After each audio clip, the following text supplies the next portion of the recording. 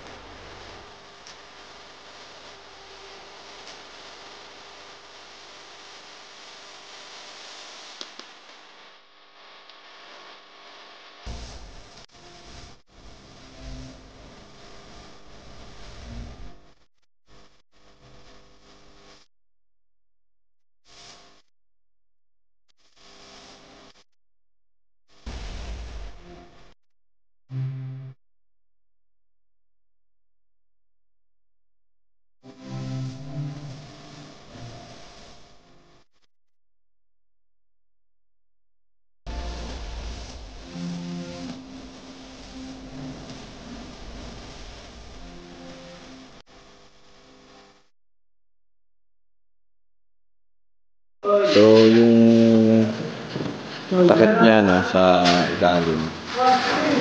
Dito na rin namin nilagay ang mga sa mga microphones. Yan. Right.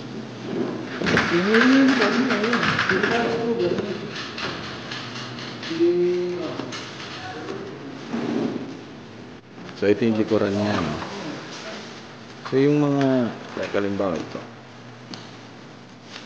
Sama na natin yung Hmm.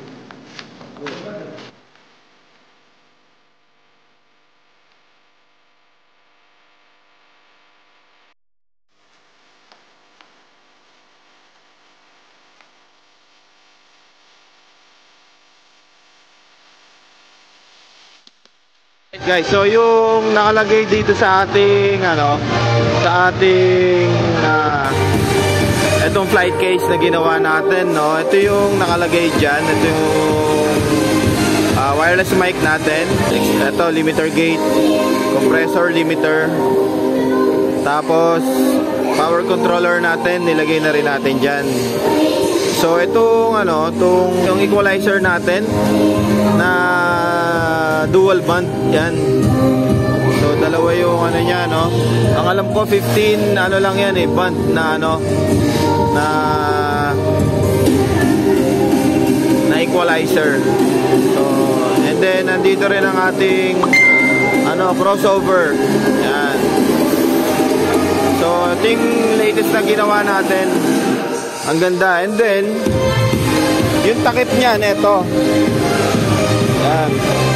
So kasya yung kasya yung pinaka lagayan ng wireless mic natin. So yung mga mic natin nandiyan na rin.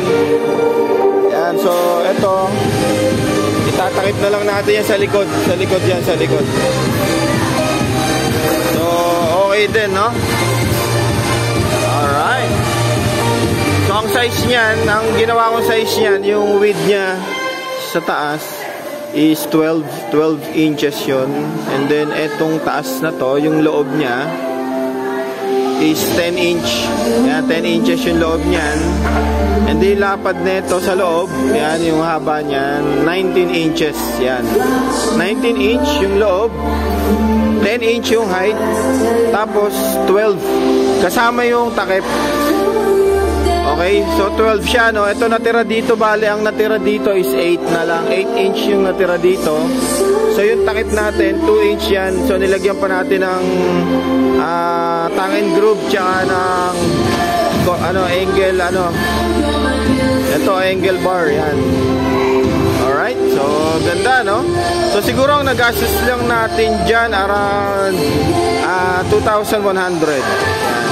Kasama na yung mga accessories. Alright. Ang ganda. Kulang na lang ako dito ng handle, dalawa, kabila.